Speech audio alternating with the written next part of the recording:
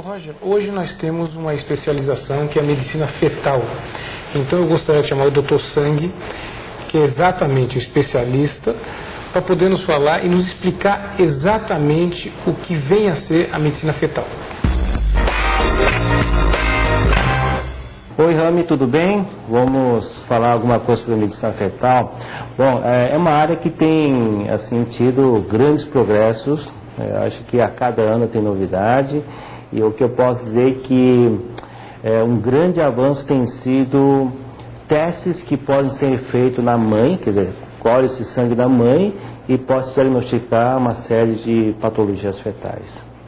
Uh, a mais indicada, a mais solicitada pelo público é a sexagem fetal, quer dizer, é a grande preocupação, a, a, curiosidade de toda grávida se é menino ou menina, e muitas vezes tinha que se esperar até quinto, sexto mês para ter a certeza e comprar, fazer todo o enxoval. Hoje em dia, é, a partir da quinta semana de gestação, significa uma semana de atraso, você pode colher sangue da mãe e saber se é menino ou menina com 99% de índice de acerto.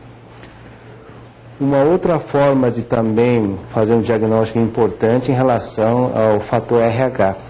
70, em torno de 15% das gestantes é, é, tem RH negativo e muitas vezes esta condição pode estar relacionada com algum risco fetal de transfusão, de comprometimento fetal, como anemia fetal.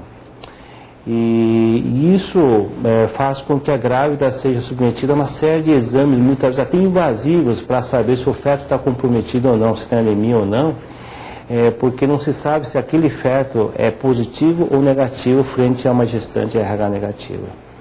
Hoje em dia, pelo sangue da mãe, a amostra do sangue materno, é possível também determinar a genotipagem RH do feto a partir da sétima semana de gestação. Então, você já sabe se aquele bebê é negativo ou positivo. Se o bebê tiver mesmo mesma tipagem da mãe, RH negativo, não vai ter problema nenhum. Ah, existe toda uma tranquilidade daquela gestação. Então, é, é uma forma de, é, já no segundo mês, a grávida ficar totalmente segura daquela gestação.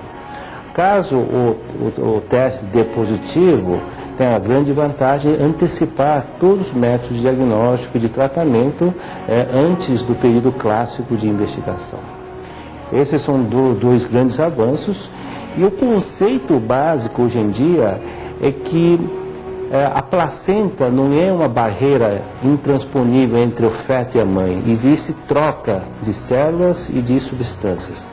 Então, baseando-se nesse conceito, é possível através da amostra do, do sangue materno da grávida, identificar o DNA fetal e através desse DNA fetal fazer uma série de diagnósticos de doenças fetais, inclusive para a síndrome de Down. Né? Então, o grande futuro uh, do diagnóstico pré-natal vai ser, em vez de fazer uma punção que implica certos riscos de perdas fetais, né?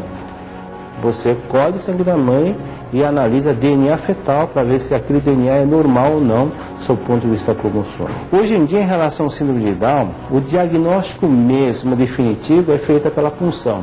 Né? A gente faz uma biópsia da placenta a partir da 11ª semana ou retira-se o líquido amniótico, a amniocentese, a partir da 14ª semana. O exame é um meio de cultura, demora em torno de 10 a 15 dias para ter resultado e é uma confirmação se o bebê é ou não. Como esses exames invasivos têm o risco, uh, implicam um risco fetal da ordem de 1%, Muitas grávidas acabam não fazendo o procedimento para não correr esse risco de 1% de perdas. Só para você ter uma ideia, tem muitas gestantes é, que tentaram 5, 6, 10 vezes bebê de proveta, com custo muito alto, e finalmente ela fica grávida. E com a possibilidade de ter o primeiro bebê né, do sonho dela. E ela não quer correr esse risco de perder é, por causa da dúvida se tem síndrome de Down ou não. Daí entra os testes de rastreamento. Quer dizer, no final do primeiro trimestre, ao redor da 12 segunda semana de gestação, é possível, combinando ultrassonografia com alguns exames de sangue materno, chamado rastreamento bioquímico, é possível identificar aquela grávida de altíssimo risco para síndrome de Down. E nesse grupo você faria é, a punção. É como se estivesse peneirando aquelas mulheres com maior propensão de gerar crianças com síndrome de Down. O rastreamento bioquímico é indicado é, no final do primeiro trimestre, entre a 11 a 14 semana de gestação. E todas grávidas, independente da sua idade, eh, da condição, vamos dizer, racial, genética, porque toda grávida tem um certo risco de gerar criança com síndrome de Down. Né? A idade materna aumenta esse risco, mas você sabe que 70% das crianças com síndrome de Down provém de gestantes aparentemente jovens, com menos de 35 anos. Por quê? Embora em termos relativos elas tenham menor possibilidade de gerar síndrome de Down, elas representam o universo de 90% das grávidas. Como elas estão em maior número, mesmo o risco relativo seja muito baixo, elas acabam gerando a imensa maioria das crianças com síndrome de Down. Então, é nesse grupo que o teste de rastreamento tem um papel de identificar, num grupo de baixo risco, aquelas que têm um risco maior de desenvolver síndrome de Down, aquelas que comportam-se como se fosse uma grávida de 40, 45 anos. Então a preeclâmpsia, você sabe que é a patologia que mais mata uma grávida e bebê no mundo todo, principalmente países em desenvolvimento. Né? É uma doença ainda de, de etiologia, de causa desconhecida, mas tudo leva a crer que tem um fundo imunológico é, muito importante. E é uma doença que é da placenta, é uma placenta que não se desenvolve bem, isso acaba determinando no final da gestação surgimento de hipertensão, elevação da pressão, perda de proteína pela urina e a grávida fica extremamente é, edemaciada, inchada. É uma situação que, quando não tratada, pode evoluir para o quadro gravíssimo chamado de eclâmpsia, que é o quadro convulsivo. É, felizmente, a imensa maioria dos casos é, a gente pode controlar através de repouso, dieta com pouco sal e uso de drogas é, antihipertensivas para controlar a pressão. Mas o, melhor tratamento é a prevenção. E a prevenção é feita através de identificação de gestantes de alto risco. Nesse aspecto, por exemplo, uma história clínica é importante.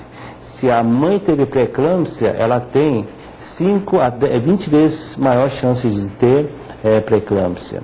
Se ela já teve pré-eclâmpsia na gestação anterior, ela tem um risco muito maior de repetição. Se a irmã teve pré-eclâmpsia, ela também terá risco maior. Então, o componente familiar é muito importante. Outro grande avanço da, da ultrassonografia é a técnica do ultrassom 3D ou 4D.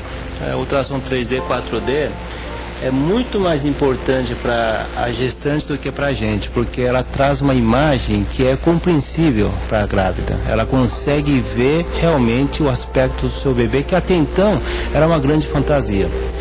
Todos dizem que o bebê tem cara de joelho, tudo igual, que o feto é tudo igual, mas não é não. Isso é grande mentira. Vocês podem ver que eu tenho uma série de casais que têm imagens 3D antes do nascimento e que compararam fotos do, do recém-nascido e foi uma coisa muito gritante a semelhança entre a imagem 3D e o aspecto uh, do bebê. Então, eu acho que o 3D, 4D veio a somar uh, no sentido de que ela permite maior participação das grávidas uh, na execução do exame, deixa de ser um exame muito chato, de imagem branco e preto, que muitas vezes a gente tem que explicar cada foto, cada figura, para que a paciente possa entender. Como toda grávida, como ser humano nós vivemos no mundo tridimensional, é muito melhor e fácil a interpretação da imagem 3D do que uma imagem 2D. Então isso acredito que seja um grande avanço da obstetrícia, porque traz uma imagem que seja muito próximo da verdade, da realidade.